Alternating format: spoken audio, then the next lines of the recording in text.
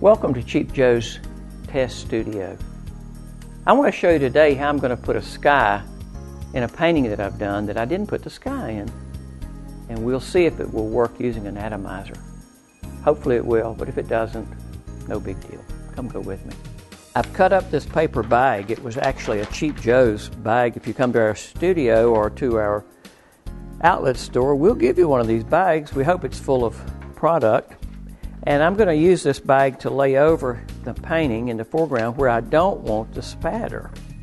And I'll even put a little piece right up there maybe, and it's okay if it gets down in it. And I'm going to use the coastal fog in the beginning, put the little tip of the atomizer in it, and come back. I'm just going to start spraying. It's just like an airbrush. Look at this.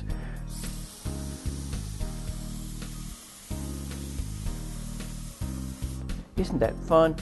Now I got a little more over here in these tree areas that I want, so I'll just blot it out with a, a tissue and it'll come right out and it's going to just work great.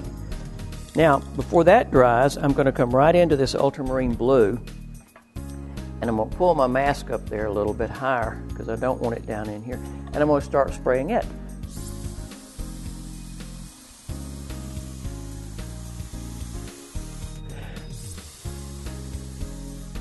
And I have some coming down that way. Let's see, have we don't stop. Don't want to just stop down here. I'll be,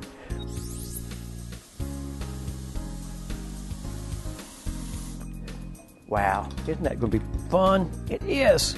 And I'm going to pick up one more color, and it's going to be Rambling Rose, and put into that blue a little bit here and there. Again, with the same atomizer.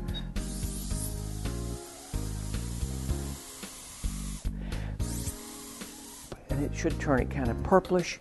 And let's see what we've got. Let's take the mask off now and see how that's. Well, I don't know. Maybe it didn't help it any, maybe it did. Who knows? But you can keep on. I can come back again and spray some more into it. I can take a brush right now, like this big one and a half inch golden fleece brush, and simply come across it with some nice quick strokes and the paint's already on there. Oh, it's going to be too thick, isn't it? This one may not work. I don't know. And what would happen if we sprayed now with just some water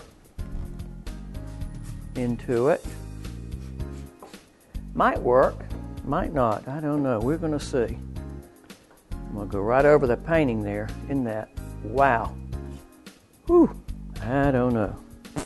Kind of made a day, anyhow. Stormy kind of a snowy day, and we can kind of let it run down into this and spray just a little more in here because I don't want it getting down in there. It won't hurt it to spray in it. You'll never know you've you've done it. And in a minute we'll come back and put a mat over it and see how we did. Okay? We'll be right back. Don't go away. We sprayed, you remember, with the atomizer, three colors was coastal fog, ultramarine blue, and a little bit of rambling rose. And I didn't like what it is, so I took the big brush, wet, damp, and just blended it and let it settle down into there. And here's what we have now, and it's kind of darkened today, so I can imagine that maybe it is snowing.